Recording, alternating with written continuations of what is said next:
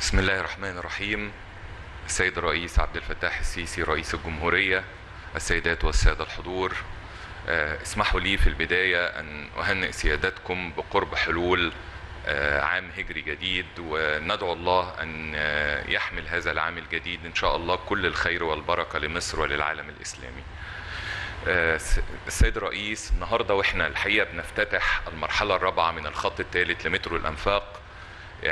نجد أنها فرصة جيدة أن آه، يعني نعرض آه، لسيادتكم وللحضور الكريم ما تم في قطاع النقل بكل مشروعاته ال- الك- الكبرى التي تم آه، تنفيذها في خلال الست سنوات الماضية.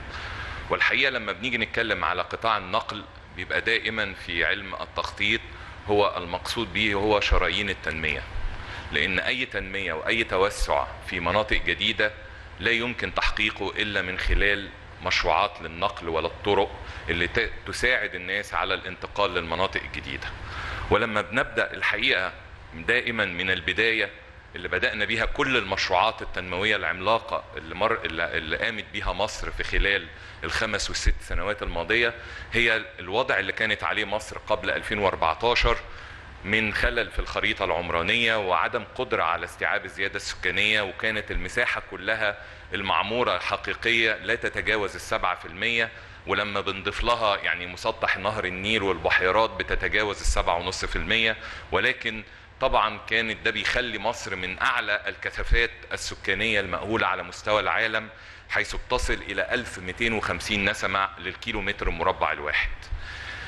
الحقيقة يمكن لما السيد الرئيس آه، يعني وجه ببدء تنفيذ المخطط القومي للتنمية العمرانية لمصر حتى عام 2052 اللي كان بيستهدف مضاعفة المعمور المصري والرقعة الع- العمرانية الكبيرة لمصر وإن إحنا نوصل لهذه الخريطة بحلول عام 2052 كان عشان يتنفذ هذا المخطط الطموح جدا اللي إحنا الحمد لله النهارده بننفذه كان لازم يكون معاه شرايين للتنمية.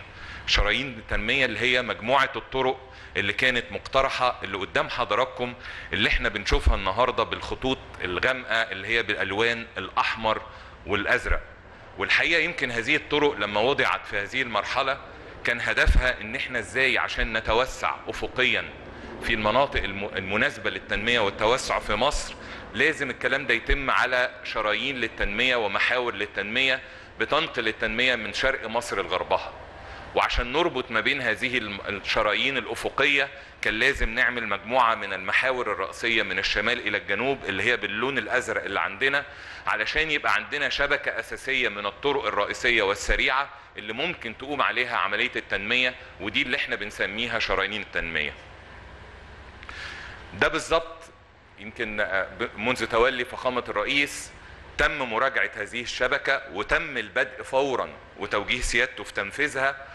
وأنا عايز أقول لحضراتكم دايما يمكن لما جت فرصة قبل كده وأقولها إن هذه الخريطة كانت محطوطة لعام 2052 النهاردة إحنا نقدر نقول والمرحلة الأولى بتاعتها كانت 2027 إحنا النهارده الحمد لله نقدر نقول إن إحنا يعني تقريبا يعني في خلال سنوات قليلة جدا يعني قبل حتى ما ما ما, تعدي علينا المرحلة الأولى اللي هي 27 هنكون اكتمل كل المخطط اللي كان معمول عام 2052 من شبكات طرق ومرافق وخدمات كبيرة جدا. المفروض كنا حاطين تصورنا بمعدلات التنفيذ اللي كانت بتتم فيما قبل إن دي هتبقى يعني لو نجحنا إن إحنا ننفذها لغاية 2052 هيبقى إنجاز. لكن الحمد لله على الأرض النهارده إحنا نقدر نقول إن إحنا فعلا تجاوزنا كل الحمد لله المعدلات القياسية لعملية التنفيذ وهذه المشروعات كلها بتتم على أعلى مستوى من الكفاءة والجودة وفي أسرع وقت ممكن وبأقل برضه تكلفة آه، لتنفيذ هذه المشروعات.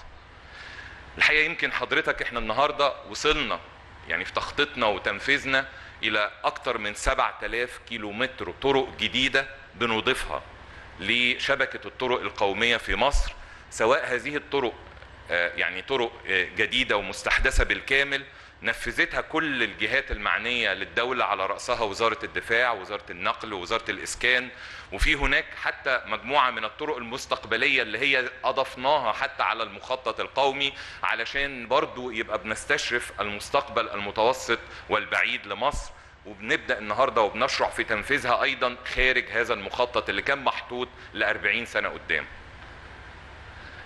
الكلام ده يمكن حد يطلع ويقول طب إحنا بننفذ وبنسرع من خطواتنا في تنفيذ هذا المخطط الكبير ليه؟ ويعني إحنا محتاجينه فعلا ولا لا؟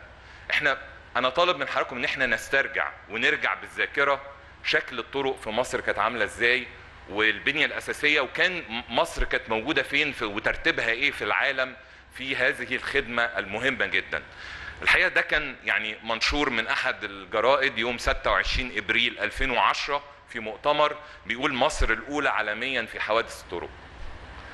لما نيجي نبص بعديها في 2013 منظمة الصحة العالمية قالت مصر أعلى دولة بالشرق الأوسط في نسبة حوادث الطرق.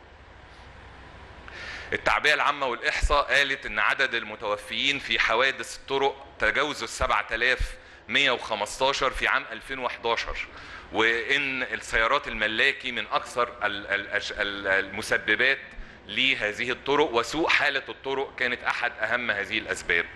عشان كده يمكن لما تولى السيد الرئيس كان توجيهه للحكومة فورا بالإسراع في تنفيذ الخطة الشاملة لتطوير كافة قطاعات النقل ولتكون بمثابة شرايين التنمية المستدامة لكل الدولة المصرية والحقيقة يمكن النهاردة أنا عايز بس أتوقف عند رقم مهم جدا جدا جدا إن النهاردة إجمالي الاستثمارات اللي تم تنفيذها واللي جاري تنفيذها على الأرض في هذا القطاع المهم اللي بيشمل قطاعات الطرق والمواني والنقل النهري والسكك الحديد ومترو الإنفاق بتقترب النهارده من تريليون جنيه مصري أو 950 مليار بالوجه التحديد صرفنا منهم 424 مليار بالفعل.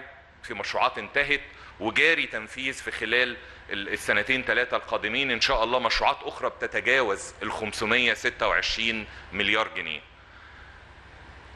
الحقيقة يمكن اللي تم تنفيذه على الأرض في خلال الست سنوات لما نيجي نشوفه مقسم إزاي هنلاقي إن 424 مليار مقسمة الطرق والكباري لوحدها تتجاوز أكثر من 50% من هذا الرقم مشروعات الطرق الداخلية والكباري الداخلية جوه المحافظات والمدن الجديدة 45 مليار السكك الحديديه 40 مليار مترو الأنفاق 33 وقدام حضراتكم الأنفاق قناة السويس وكل المشروعات العملاقة اللي الدولة نفذتها النهارده اللي وصلت وانتهت بالفعل ودخلت الخدمة بتتجاوز ال 424 مليار جنيه.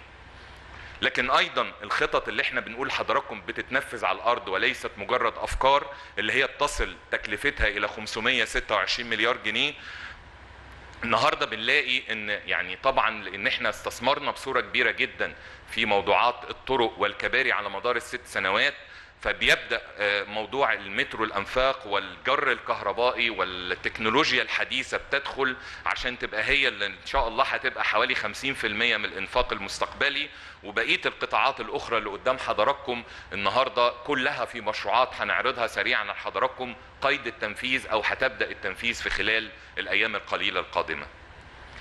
الحقيقة يمكن زي ما قلت لحضراتكم إحنا نفذنا يعني أو بننفذ حاليا 7000 كيلو من الطرق السريعة والجديدة بالكامل 4500 كيلو بالفعل تم تنفيذهم وجاري تنفيذ الباقي ده بالإضافة إلى 5000 كيلو متر أخرى تم فيهم ازدواج ورفع كفاءة.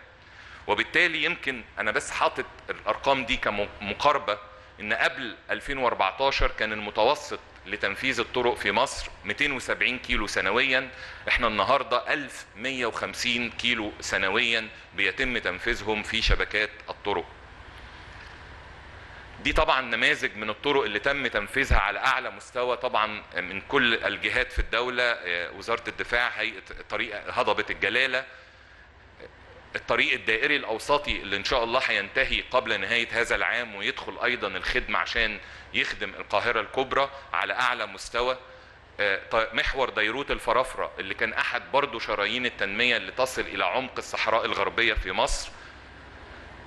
طريق هضبة أسيوط الغربية اللي كان حلم من أحلام أهالي محافظة أسيوط ووجه بيه فخامة الرئيس وانتهى النهارده في الخدمة عشان يربط مدينة ناصر الجديدة مع مدينة أسيوط. تطوير شبكة الطرق ال- ال- ال- السريعة اللي كانت موجودة ويمكن إحنا كنا مجازا بنطلق عليها إنها شبكة سريعة فيما قبل. طريق زي طريق السويس كان كل ال- يعني اللي موجود كان اتنين واتنين حارتين وحارتين ولكن النهارده بنصل إلى تسع حارات في كل اتجاه. منهم ستة على الطريق الرئيسي وثلاثة لطريق الخدمة. شبكة على أعلى مستوى من الطرق اللي ممكن فاقد أي معدلات على مستوى العالم في التخطيط والتنفيذ. النهارده طبعا يعني ازدواج الطرق اللي كانت قائمة وكانت في حالة سيئة وكانت بيحصل عليها معدلات حوادث كبيرة ابتدت يعني بناء على توجيهات السيد الرئيس إن إحنا نسرع في ازدواجها وتنفيذ هذه المشروعات عشان نقلل من معدلات الحوادث السيارات اللي بتحصل في هذا المكان. طبعا بالإضافة إلى الرئيسية اللي